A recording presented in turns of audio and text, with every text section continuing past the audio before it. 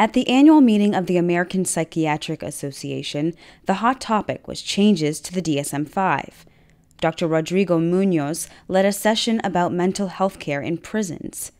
He said there's a dire need for more resources and improved diagnosis to treat and protect the mentally ill in prisons nationwide. We want to do do justice to the prisoners, having diagnosis that represent not only the primary disorder but also the different accessory diagnoses that make the picture complex and give individuality to each patient.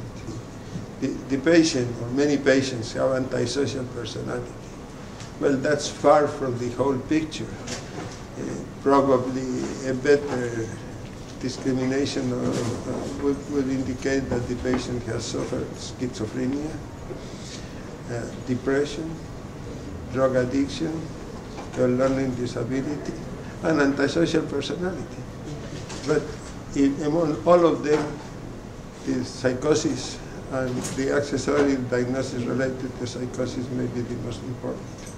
Dr. Marcia Goin added that mentally ill prisoners fall through the gaps and are often left vulnerable to manipulation.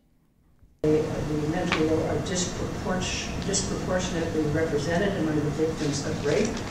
They are extra sensitive to the everyday traumas of prison life, and they are massively overrepresented among the prisoners in punitive administrative segregation or lockup. So we have a, a back and forth. I mean, there isn't room in the state hospitals, and they don't want to take them anyway. Uh, people who have, you know, committed a crime, and yet we see all these people uh, that are deinstitutionalized. They steal. They're out on the streets. They steal a shopping cart.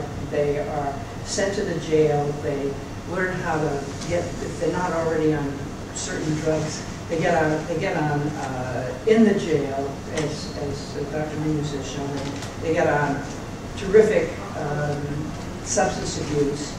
Dr. Munoz called on psychiatrists and the APA to step up their efforts to campaign for better mental health resources and to educate law enforcement on the challenges they face. With Clinical Psychiatry News, this is Frances Correa.